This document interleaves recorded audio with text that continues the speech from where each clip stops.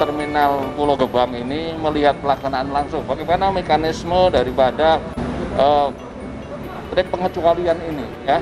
Ini tegas pemerintah tetap melaksanakan dilarang mudik. Dengan dikeluarkannya SE nomor 4 ini tentunya apa yang telah ditetapkan ini kita laksanakan dengan sepenuhnya. Tadi saya melihat runtut mekanismenya, bagaimana orang yang diizinkan dan mendapatkan izin dari terminal ini dengan persyaratan-persyaratan yang telah ditetapkan, baik dengan tiket online, kemudian di sini dicek.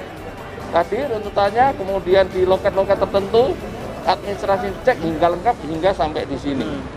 Bila tidak lengkap akan diputar balikkan, diulangi lagi persyaratannya atau ditolak persyaratannya. Kemudian yang diizinkan langsung sampai sini disiapkan base yang sudah disiapkan stikernya. Jadi base yang jalan ini adalah base yang ditunjuk oleh Kementerian Perhubungan. Untuk pengawasannya, jadi kita mudah di lapangan. Kalau base sudah ada stiker boleh, berarti boleh jalan. Biarpun berapa penumpangnya, itu tetap harus jalan di sini.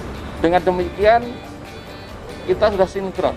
Bagaimana pelaksanaan eh, syarat administrasi yang ditempuh di terminal sampai pengawasan di lapangan hingga sampai tujuan.